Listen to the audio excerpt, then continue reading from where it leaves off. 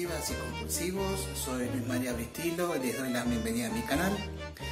Hoy este, vamos a hacer una efemérides, eh, o sea, la reseña de hoy va a estar relacionada con una fecha aquí en Argentina muy importante. Eh, hace unos días que pasó el 24 de marzo y aquí en Argentina, en un 24 de marzo de 1976, eh, tuvimos un golpe de Estado, una dictadura militar con lo cual eh, hoy 2021 se recuerda este día como por la memoria y por la eh, como día de la memoria y por la verdad y la justicia con tantas muertes y, tantas este, eh,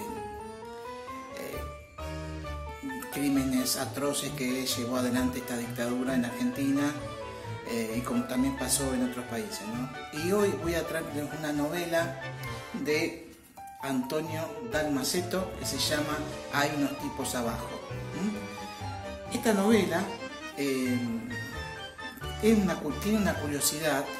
Está, eh, primero se hizo una película y después salió la, novela, ¿no? la película que llevó también el mismo título, que estaba protagonizada por Luis Brandoni Luis Vicina Brando. Se, eh, se proyectó allá por el año 1980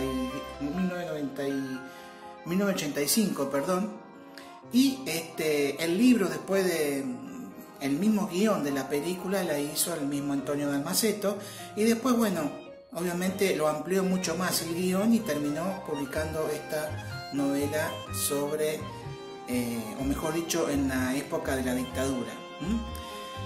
Eh, Antonio Dalmaceto también es parte de esa... Em, decir, eh, grupo de escritores argentinos que eh, reflejaron la realidad de nuestro país a través de las novelas, tal es el caso también de este, Soriano, que por ahí yo les voy a poner el enlace a otro, a un libro de él que, comentamos aquí en el canal que se llamó este, Los cuarteles de invierno. Eh, también hay, otro, ya más del tipo periodístico y que me inclusive la vida, que lo vamos a comentar en algún momento también, de Rodolfo Walsh. Eh, y bueno, también estuvo Antonio Dalmaceto. Antonio Dalmaceto que no nació en Italia, después bueno, emigraron con sus padres en la época de la Segunda Guerra Mundial y después bueno, se estableció aquí en Argentina y, obviamente eh, pasó por infinidad de em, oficios de trabajos y después terminó afianzándose en la escritura a través de también de varias novelas.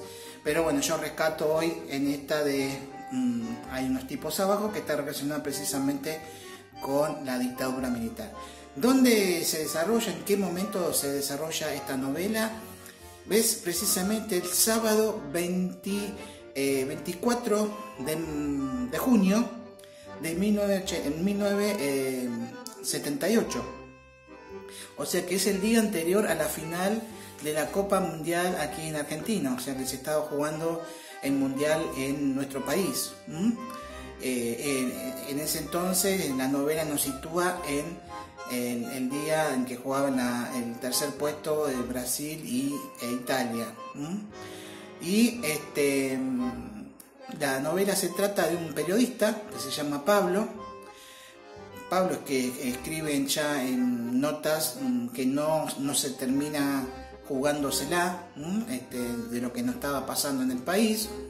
O sea que eran, podemos decir, eh, publicaciones inofensivas y que no, deberían, no le deberían afectar en su, en su este, vida cotidiana con el régimen dictatorial que llevaba en ese momento la Junta Militar acá en Argentina.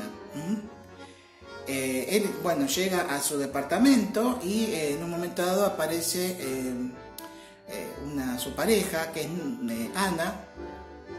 Ana llega al, departamento, le pregunta cómo había estado, si había tenido alguna novedad, en una, en una situación muy nerviosa ella, un estado de, alteración que este, lo sorprende a Pablo, como diciéndole qué te está pasando que justo coincidía que tenía problemas con el teléfono, con la línea de teléfono Pablo en su departamento. Ella se quería comunicar con él y no, lo lograba. Y termina soltándole una frase que es la que da título a la novela. Hay unos tipos abajo, le dice.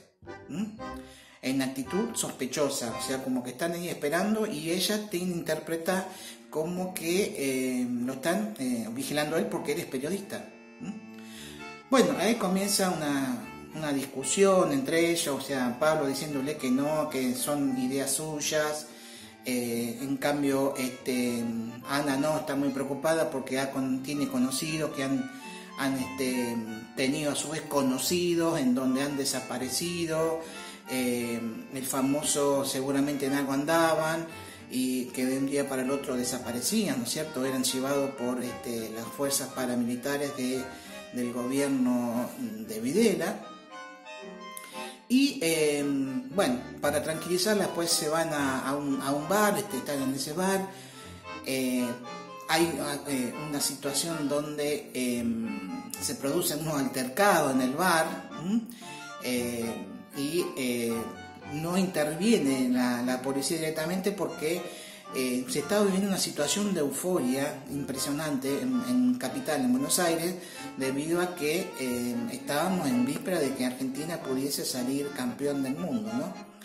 Estábamos también en esa frase famosa de que los argentinos somos derechos y humanos, que era lo que quería disfrazar este gobierno, este, esta dictadura en el país contrario a lo que todo el resto del mundo sabía, de que había gente que estaba desapareciendo eh, y que se están cometiendo crímenes de toda eh, de lesa humanidad en el país.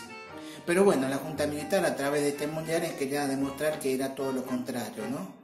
Pero igual estaba ese resquemor en, cierta, en ciertas figuras, en ciertas personas, de que en un día para otro le podía tocar a uno esto de que sea eh, llevado por estas fuerzas paramilitares. Bueno, y ahí empieza a generarse todo un clima de tensión entre Pablo y, Ana. Ana después se va a su casa, él después hace, al, final mm, bajan y lo encuentran estas personas eh, que están ahí en la escuela en la esquina de Paraguay y Reconquista, dicen acá en el libro. Eh, y bueno, él es como que tiene una mirada desafiante hacia estas personas que están ahí en esa esquina. Eh, y mm, después este, él empieza a picarle ese bichito de la curiosidad o ese temor. Eh, él también em, interpreta que días anteriores le habían pinchado el teléfono porque no, no funcionaba, no tenía línea. Eh, y tal es así que él decide salir después por su cuenta a ver si todavía estaba esta gente ahí en esa zona, en ese lugar, eh, y a, mm, tal, de tal manera se había sentado, eh, sentido, perdón, se había sentido incómodo, este, preocupado, que no duerme esa noche en, su departamento. O sea, el sábado a la noche no duerme en su departamento, va a, un, a una posílica, como llamamos acá en Argentina, un lugar de mala muerte, pasar la noche ahí. ¿Mm? Al día siguiente no ve a esta gente ahí en la esquina, que en primera instancia eran dos personas, después eran tres.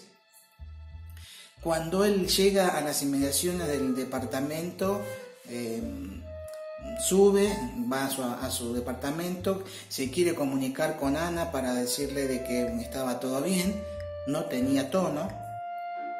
Eh, Ana tampoco tenía, funcionaba su bien, entonces le tenía que llamar a otra a una vecina de otro piso.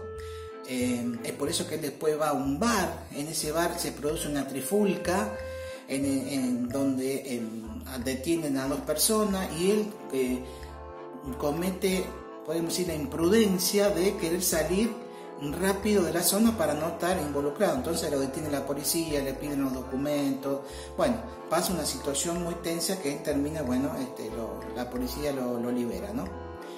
Eh, cuando vuelve en su departamento, entonces es ahí cuando con una vecina em, trata de llamar a, Ana, se, terminan comunicando, después Ana se viene al, departamento, todo esto realmente tiene una...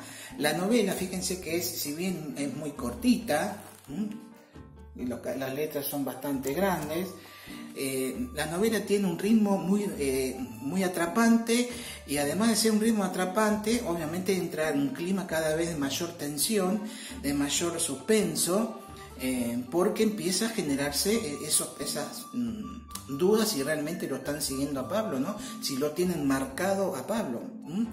En algún momento también se va a encontrar con unos amigos, ah, porque me estaba olvidando, él termina durmiendo en, esta, en esa habitación alquilada, porque había ido a visitar a unos amigos. Eh, en principio lo, atendían que hacía mucho que no iba y cuando él les comenta toda esta inquietud que tenía de esta gente que lo estaba, entre comillas, este, vigilando abajo, es como que cambia el clima en, en esta pareja de amigos y eh, donde pensaba dormir no, no, lo terminan invitando y queda una situación de suspenso eh, en donde eh, lo único que hace es sumar cada vez más un clima de suma tensión y suma preocupación y obviamente de miedo. termina esta termina esta viene Ana entonces al departamento de él aparece una vecina que es Carmen Em, también que ella había visto que había gente que estaba mm, en el lugar con una actitud sospechosa em, y em, termina entonces generándose una eh, en Pablo ya una, actitud totalmente de inseguridad. Se produce ya el partido de Argentina y en ese partido de Argentina, en la final, eh, el único que no está mirando el partido es Pablo. ¿Por qué? Porque le queda cada vez más, invade cada vez más ese desasosiego de sentirse perseguido. Y no quiero ya abundar mucho más en la, trama de la, novela, que realmente es muy atrapante, como les dije, porque si no, se las cuento todas. Eh, pero bueno, quería tomar esta narrativa argentina mm, de Antonio Dalmaceto como para mm, tener este recordatorio, esta efeméride de un aniversario más de ese trágico eh, suceso que fue la, el golpe militar de ya por el 24 de marzo de 1976. Así que mm, este era el compartir que quería tener con ustedes. Eh, les pido que si les, gustó la, la, reseña, que lo comenten ahí en la cajita eh, debajo del, video, este, que me den un like si les gustó eh, y por supuesto que se suscriban al canal eh, si realmente llegaron hasta acá es porque también son apasionados de la lectura eh, y todo lo que yo lo que quiero parece que todo lo que yo leyera y compartiera en el canal parece que son todas buenas novelas. Y bueno cada, cada novela o cada lectura tiene su, su encanto tiene su atractivo y obviamente la, creo que el mayor atractivo el mayor encanto es que nos guste la lectura que nos gusten las historias. Así que eh, les agradezco que hayan llegado hasta aquí y eh, lo espero en la próxima compartir en este canal que se llama